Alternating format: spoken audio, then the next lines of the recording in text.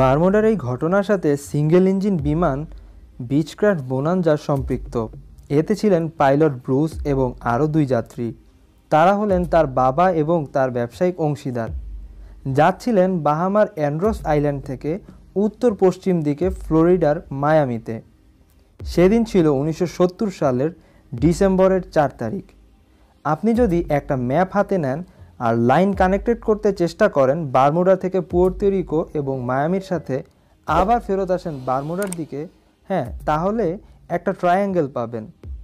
আর এতেই দুই হাজারের অধিক জাহাজ এবং দুইশোর বেশি উড়োজাহাজ রহস্যভয়ভাবে হারানোর কথা জানা যায়। ব্রুসের বিমানও সেদিন এই রহস্যময় জায়গার উপর দিয়েই যাচ্ছিল। জার্নিটা আসলেই খুব ঝুঁকিপূর্ণ ছিল। সাধারণত ট্রিপটিতে দেড় ঘণ্টার মতো সময় লাগার কথা, কিন্তু সেদিন তা ঘটেনি।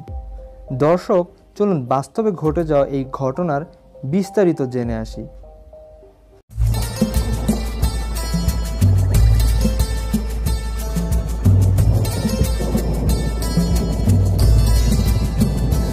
ব্রুস টেক অফ করে যাত্রা শুরু করেন। অদ্ভুত ঘটনার শুরু তার খানিক বাদেই। এক হাজার ফিট উপরে আসার পরে একখণ্ড কালো মেঘের দেখা পান। তবে এটা ইচ্ছে করলে অন্যত্র যেতে পারতেন, কিন্তু তিনি তা করলেন না। মেঘের মাঝ থেকেই এগিয়ে নিয়ে গেলেন বিমানটি। তেমন কোনো সমস্যাও হলো না। এরপরে এগারো হাজার পাঁচশো ফিট উপরে আরেকটি মেঘের খণ্ডের দেখা পেলেন। এই খণ্ডটা অনেক বড় ছিল। ব্রুস, এর জন্য কোনো উপায় পেলেন না মেঘ থেকে বাঁচার। এর মাঝে ঢুকেই গেলেন তিনি। আর এর ভেতরের অন্ধকারটা এতটাই কালো ছিল যে একদম রাতের মতো দেখা যাচ্ছিল। তিনি বুঝতে পারেন এই মেঘ মোটেই কোনো বজ্রপাত কিংবা মেঘের কিছুই নয়। ব্রুস খুব চিন্তিত হয়ে পড়তে লাগলেন আর মাঝে মাঝেই আলোর ঝলকানি দেখতে পান। এগুলো খুব দ্রুতই জ্বলছিল আর নিভছিল। ব্রুস দেখতে পান মেঘের আকার দীর্ঘ থেকে দীর্ঘ হচ্ছে। তিনি খানিক পরেই বুঝতে পারেন বিমানটি মেঘের মাঝ থেকে বের হতেই পারছে না। মাঝে মাঝে শুধু ঘুরতেই থাকছে। দর্শক, আপনি আমার চ্যানেলে নতুন হয়ে থাকলে সাবস্ক্রাইব করে রাখুন এবং লাইক আর কমেন্টস করে আপনার মতামত জানান। তথ্যটি ভালো লাগলে আপনি আপনার বন্ধুদের সাথে শেয়ার করতে পারেন। কয়েক মিনিট পরে তিনি টানেলের বাইরের একটা মুখ দেখতে পান। কিন্তু তিনি যতই সামনে আগাতে থাকেন আর ভাবতে থাকেন এই বুঝি দুঃস্বপ্নের ইতি ঘটল। কিন্তু এর পরেই ঘটতে থাকে অপ্রত্যাশিত সব ঘটনা। টানেলটি ক্রমশই ছোট হতে থাকে। বিমানের যন্ত্রাংশ এলোমেলোভাবে কাজ করতে শুরু করে। কম্পাসের দিক নির্দেশনা নষ্ট হয়ে যায়। মনে হচ্ছিল কোনো দিক থেকে অন্য কোনো শক্তি বিমানটিকে নিয়ন্ত্রণ করছে। ব্রুস আপ্রাণ চেষ্টা করতে থাকেন বিমানটিকে নিয়ন্ত্রণ করতে। এবং এই অবস্থা থেকে বের হতে বারবার সচেষ্টভাবে আপ্রাণ চেষ্টা চালান। শেষে তিনি অনেক কষ্টে বের হন আর এর পরবর্তী বিশ সেকেন্ড ছিল খুবই আশ্চর্যজনক। টানেল থেকে বের হয়ে ব্রুস অনুভব করেন বিমানটির ওজন বিহীনভাবে থমকে আছে। এরপরেই তিনি গ্রাউন্ড কন্ট্রোলের সাথে কথা বলেন।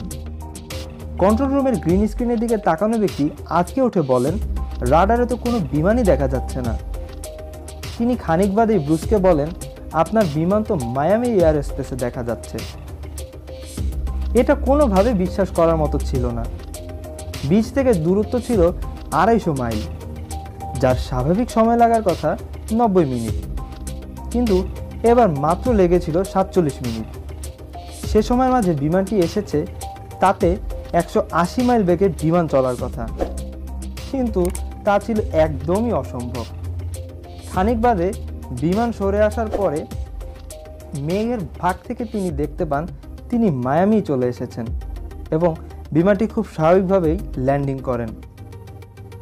এরপরেই ব্রুস চিন্তায় পড়ে যান, কি হয়েছিল ফ্লাইটটিতে? ব্রুস বিমানের ফুয়েল চেক করেন, এরপরে আরও অনেক বেশি শঙ্কায় পড়ে যান। যে পরিমাণ ফুয়েল খরচ হবার কথা তার চেয়ে অনেক কম হয়েছে। ব্রুস অনেক অভিজ্ঞতা সম্পন্ন পাইলট ছিলেন। তিনি তার পাইলট জীবনের ২০ বছর বয়সের মাঝে এই রুটে ছয়শো ঘণ্টা ফ্লাই করেন। তিনি কয়েকজন প্রফেসরের সাথে পরামর্শ করেন এই ঘটনাটি নিয়ে। আর তারা কেউই এর সঠিক কোনো জবাব দিতে পারেননি। তারা ধারণা করে বলেন, এগুলো হতে পারে বৈদ্যুতিক মেঘের মাঝে প্রবেশের কারণে। অন্যভাবে বললে অন্ধকারাচ্ছন্ন কোনো শক্তির কারণেও এমনটা হয়ে থাকতে পারে। যেমন, ব্ল্যাক হোলে এমন ধরনের শক্তির বর্ণনা পাওয়া যায়। আর এসব স্থানে গেলে ফিরে আসা কঠিন হয়ে যায়। কিন্তু ব্রুস অনেক ভাগ্যবান। এখান থেকে তিনি বের হতে পেরেছিলেন। তিনি এটাই বুঝতে পারছিলেন না কীভাবে এত দ্রুত এই জায়গাটি পার হয়েছিলেন। আজকের এই বিজ্ঞানের যুগে এসেও বলা যাচ্ছে না ব্রুস এত কম সময়ে এই পথ পাড়ি দিয়েছিলেন। তবে কিছু আর্কাইভ রেকর্ডের মাধ্যমে জানতে পারা যায় ওই দিনের চুরাশিটি সানস্পটের কথা, যার ফলে সেদিন সৌরগতি ছিল প্রায় সাতশো কিলোমিটার পার সেকেন্ড। আর এই কারণেই বিমানের ম্যাগনেটিক রেডিয়েশন হয়, আর এ থেকেই ধারণা করা হয় ব্রুসের বিমান বৈদ্যুতিক মেঘের মাঝে প্রবেশ করেছিল। আর এই স্থানের অদ্ভুতরে মেঘের কথা সবারই জানা। এমন অনেক জায়গায় আছে বাতাসের হাই এবং লো প্রেশারের পর বারবার উপরে আর নিচে নামতে থাকে, যার ফলে তৈরি হয় ঝড়ো মেঘের। এমনই একটা মেঘের মাঝে ঢুকে পড়েছিলেন ব্রুস। বারমুডা ট্রায়াঙ্গেলে এরকম আরও অনেক রহস্য বিদ্যমান। উনিশশো পঁয়তাল্লিশ সালে পাঁচটি বিমান এর উপর দিয়ে গায়েব হয়ে গিয়েছিল। কিছু নেভি স্টুডেন্ট এই এরিয়াতে এসে ট্রেনিং নিচ্ছিলেন। অনেকেরই ধারণা এই বিমানগুলোর ফুয়েল শেষ হয়ে গিয়েছিল। তবে একসাথে পাঁচটি বিমানের পাইলট সেম ভুল করবে ভাবাটা নিতান্তই বোকামি। এটাকে ফ্লাইট নাইনটিনের নামেই সবাই জানেন। ঠিক এর তিন বছর পরই উনিশশো আটচল্লিশ সালে পুয়ের্তো রিকো থেকে মায়ামি যাওয়ার পথে আরও একটি যাত্রী বিমান গায়েব হয়ে যায়, যাতে আঠাশ জন যাত্রী এবং তিনজন ক্রু মেম্বার ছিলেন। অনেকেই ধারণা করেন মায়ামি থেকে পঞ্চাশ মাইল দূরের এক শক্তিশালী বাতাস বিমানটিকে দুর্ঘটনার মাঝে ফেলে।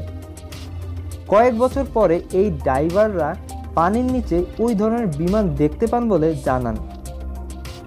এর পরের মাসে আরেকটি বিমান এসে হারিয়ে যায়, যাতে যাত্রী সংখ্যা ছিল পঁচিশ জন। বারমুডার রহস্য এখানে সবারই অজানাই থেকে গেছে। বারমুডা নিয়ে ভিডিওর লিঙ্ক ডিসক্রিপশন বক্সে দেয়া থাকল। ইচ্ছে হলে দেখে আসতে পারেন। আজ এ পর্যন্তই। কমেন্ট করে ভিডিওটি সম্পর্কে আপনার মতামত জানান। আল্লাহ আপনাদের সবাইকে ভালো রাখুন।